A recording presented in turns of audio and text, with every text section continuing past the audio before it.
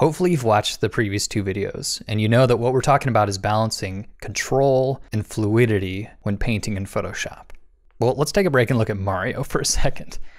What you see here is Mario breaking the rules. Mario is trying to get across from one building to another, and the way he does that is he throws his hat out, and then he jumps off of the hat itself and uses it a bit like a springboard. Now, if what we were talking about was strict realism, obviously this doesn't work. But within the Mario universe, somehow we just kind of accept this.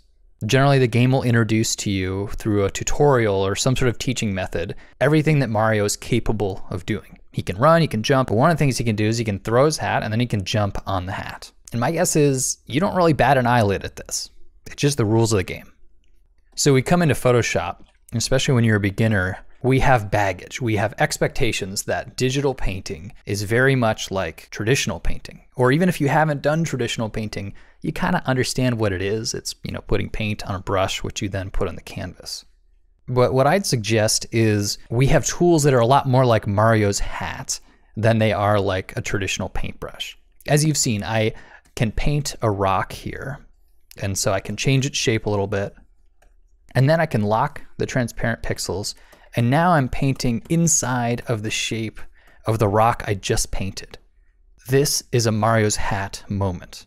Sure, it has some relationship to the real world, as in if you've ever seen an airbrush painting made, you know that they lay down transparent film and they cut it out with an X-Acto knife, and then they can paint inside of a stencil. So in that way, you're only painting inside of a defined area.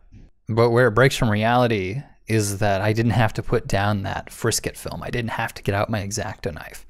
All I had to do is click this little button here. I'll click it again. And now I am not painting within a mask. Now I am free to paint and erase as much as I want. So this little toggle here is a bit of a mental leap. You have to understand that it's possible first. And that's kind of like in Mario going through the tutorial and kind of learning what Mario is capable of. So then you know the rules.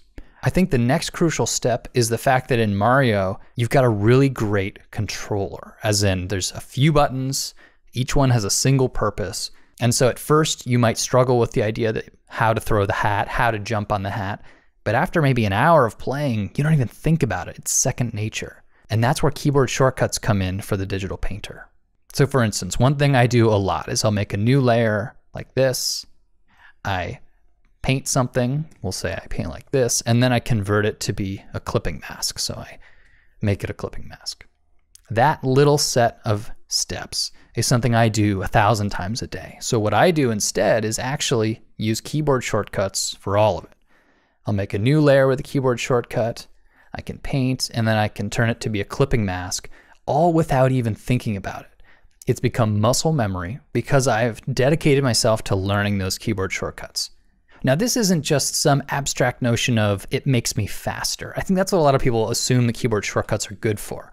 What I would argue is that keyboard shortcuts allow you to suspend your disbelief, to allow yourself to have those Mario moments without even thinking about it.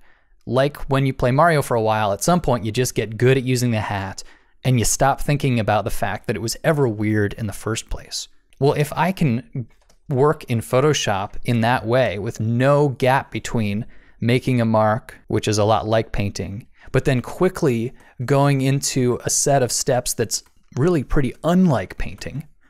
What I've just done is I have redefined in my mind the rules of the game. I'm not thinking like a traditional painter anymore, I'm thinking like a digital painter.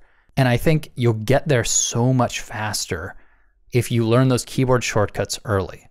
Because every time I stop from working on the creative thing to go hit a button or open a menu, now I've stopped thinking about the creative part. I'm not in the flow anymore. Instead, I'm thinking about technical process. But if you can master these keyboard shortcuts, you'll just start enacting on your creative impulses because all these interesting digital tools that we have available to us just become background noise.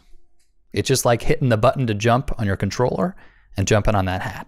So learn your keyboard shortcuts, see what's possible with digital painting, and I bet it'll totally change the way you paint.